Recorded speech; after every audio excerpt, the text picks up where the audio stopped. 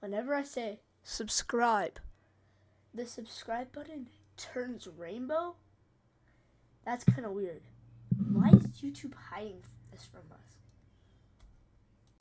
Well, we've had some conclusions. YouTube has been hiding this because they added it not too long ago. I think it was about 11 to 3 weeks ago. That's pretty soon. But did you know that YouTube makes it so whenever I say subscribe, it turns rainbow?